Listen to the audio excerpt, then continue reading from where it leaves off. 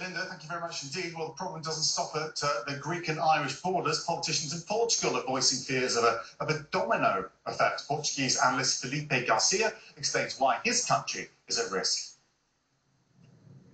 We are now feeling that this situation is currently not in our hands anymore. I mean, the, the Portuguese government and the, the country has some responsibilities in all this we have problems in terms of public finance. We are not so competitive. We have a current account structural deficit.